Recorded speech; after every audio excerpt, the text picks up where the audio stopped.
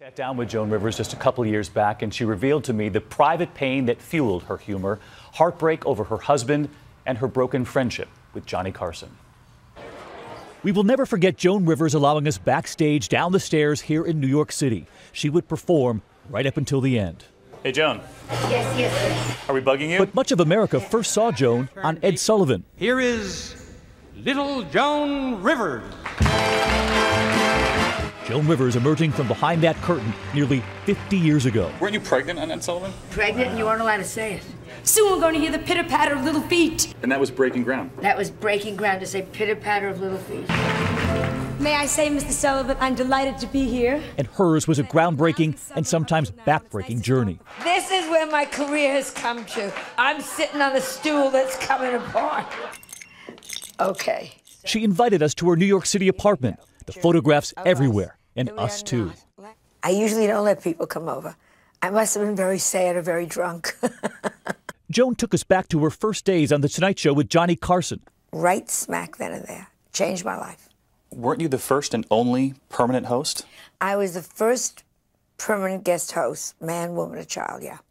And only. And that gig with Carson would lead to another offer to do late night comedy on another network. And as soon as I got the Fox show, I called Johnny and said, Johnny, I've got it. And he hung up hung up on me, never, never spoke to me again. But her show was soon over, and so was her friendship with Carson.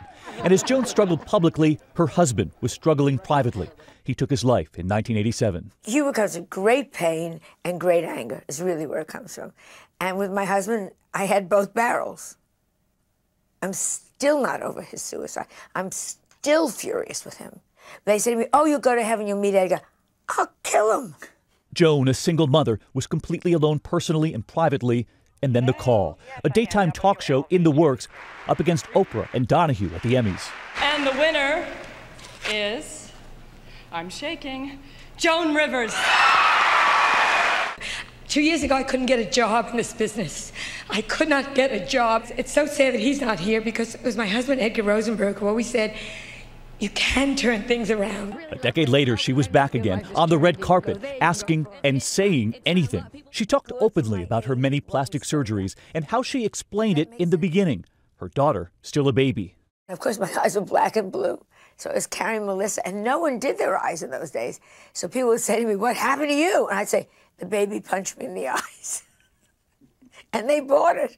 People were so stupid in those days. Poor Melissa. Poor Melissa. Kid's going, kid hit me in the eyes. and it turned out, behind all of that humor, humility. I'm proud of nothing, my darling. I am swimming upstream. I don't know where it's gone. If you don't do what you want to do, you're a fool. Joan Rivers sitting down with us, and Barbara Walters with us now. Joan was your friend. Was she the same privately as she was publicly?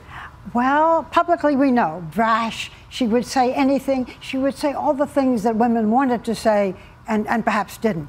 Privately, she was very elegant, a house full of antiques and, and silver, uh, and rather quiet. And I'm curious, Barbara, if she had any idea in these final days about the support that came in from all over the world, what would she have made of it? You know, we've all said she liked nothing more than to work. And to know that she had this kind of an audience, even when she was unconscious, I think she would have been smiling. I will miss her. Barbara Walters with us tonight on her friend Joan Rivers, and we'll have much more coming up tonight on Nightline. So many people remembering Joan Rivers tonight.